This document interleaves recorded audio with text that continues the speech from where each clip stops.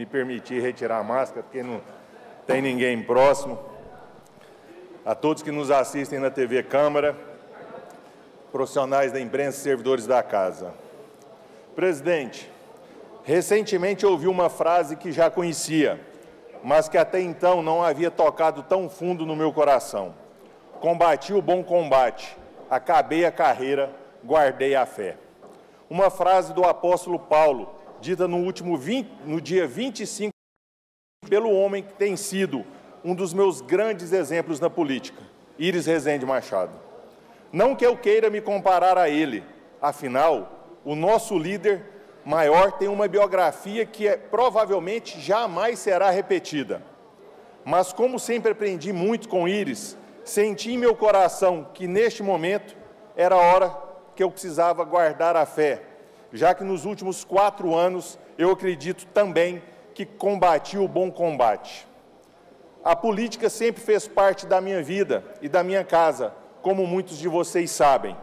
Entrar para a vida pública, participar de gestões do executivo, exercer mandato como vereador, foram oportunidades que se construíram ao longo da minha caminhada, onde aprendi muito com pessoas dos mais variados segmentos e tive a honra de ter estar ao lado de grandes homens e mulheres que marcaram a história da nossa cidade, do nosso estado e do nosso país. Conviver com Íris como seu auxiliar e aliado político, contribuindo para o desenvolvimento da nossa cidade e para a execução de um projeto vitorioso que tem proporcionado melhor qualidade de vida para os goianienses, é o que me fez chegar aqui hoje, com a tranquilidade de quem sabe que nesta casa, nesta Câmara, minha missão foi cumprida. Fecho um ciclo.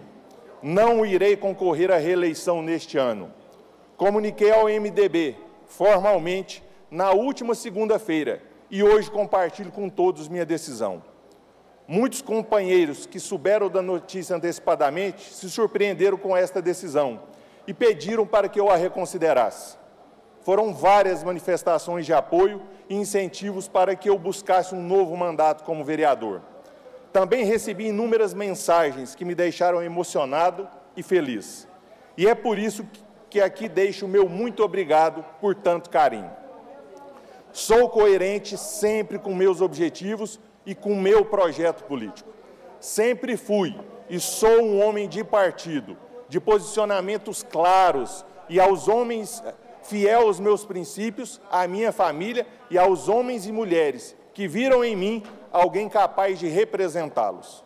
E acredito, principalmente pelo que vejo nas minhas redes sociais e em minhas andanças pelas ruas, onde encontro muitos eleitores que tenho cumprido com a parte que me cabe. A decisão de não concorrer à reeleição está ancorada única e exclusivamente no meu entendimento quanto ao meu papel na atividade política e naquilo que compreendo ser o mais coerente no momento. Sigo no MDB, sigo na vida política. Sou um homem político, alguém dedicado a olhar para seus semelhantes e lutar para que todos nós tenhamos melhores oportunidades e melhor condição de vida. Foi essa política que aprendi com a minha mãe, Raquel Azeredo, ex-deputada, e com tantos outros companheiros e companheiras a quem tive a honra de ombrear nestes últimos anos, como Iris Rezende, Maguito Vilela, saudoso amigo Paulo Garcia, o meu amigo presidente do MDB, Daniel Vilela, a nossa ex-primeira-dama, ex-deputada federal, Iris Araújo Machado. Minha atuação política seguirá firme e forte, apoiando o MDB, apoiando os candidatos do MDB, partido que é minha casa, mas também apontando, quando necessário, as críticas e contribuindo para a nossa cidade, com o nosso Estado e principalmente com a nossa gente. Agradeço o apoio e as orações de todos que sempre estiveram ao meu lado, nesses anos como vereador, principalmente aqueles que confiaram em mim o voto e a minha equipe, tão fiel, disposta e engajada. Agradeço aos parceiros e parceiras de tantos projetos vitoriosos em benefício dos goianienses. Projetos que propusemos e que hoje, com o apoio dos colegas e a sanção do prefeito Íris, se tornaram leis que visam corrigir injustiças, dar mais conforto, carinho, cuidado para vários grupos que até então não tinham tido suas necessidades reconhecidas e atendidas.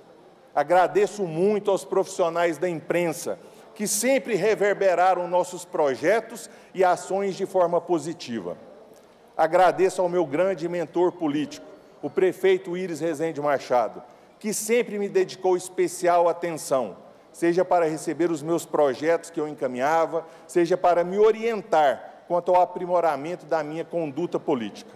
A minha mulher Adriane, aos meus filhos Lucas, Vitor e Arthur, aos meus pais Raquel e Vonivar, minha gratidão pelo apoio incondicional, pelas alegrias proporcionadas em meio aos momentos tensos e de angústia, pelas boas conversas e pela certeza que eu tenho a melhor família do mundo. Seguimos juntos, meus amigos, com fé em Deus sempre, com muita coragem para construir o futuro que todos nós merecemos.